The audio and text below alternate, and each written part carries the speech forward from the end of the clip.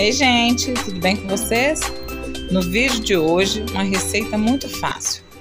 Vamos aprender a fazer um pudim de Maria Mole. Pouquíssimos ingredientes, muito fácil de fazer e bastante econômico. Vamos lá, vamos começar. Para fazer essa Maria Mole, a gente vai precisar de 24 gramas de gelatina incolor. Coloque o pó da gelatina na batedeira e em seguida, vamos acrescentar aqui 240 ml de água quente. Pode esquentar ela no micro-ondas, tá? Não precisa ser muito quente, não. Mas pode aquecer aí no micro-ondas para poder dissolver aqui a gelatina. Já mexe até dissolver toda a gelatina. Prontinho, já está ótimo até aqui. Agora vamos colocar duas xícaras de 200 ml cada de açúcar. Se você quiser mais docinho, pode colocar um pouquinho mais. Talvez pense que vai ficar muito melado, mas não fica, tá, gente? Precisa dar açúcar para poder dar o sabor mesmo da Maria Mole. Agora vamos colocar para bater na batedeira. Pode colocar na velocidade leve e vai aumentando aos poucos.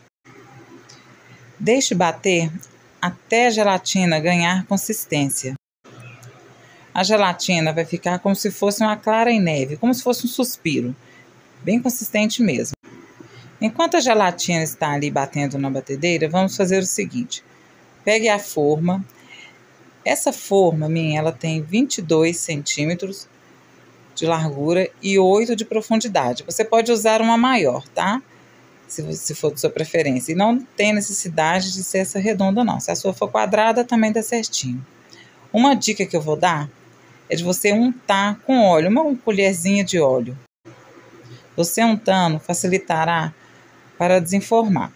Em seguida, você pode polvilhar com coco ralado, a quantidade que desejar. Olha só, gente, já tá ficando quase no ponto, tá vendo aí? Olha aí como é que tá ganhando consistência. Daqui a pouquinho a gente já pode tirar e colocar na forma e levar para geladeira. Pronto. Esse é o ponto que eu queria, tá vendo? Tá bem consistente. Agora já vou despejar, colocar aqui, ó, na minha forma. Dessa maneira aqui, tá, gente? Vamos polvilhar com mais um pouco de coco ralado.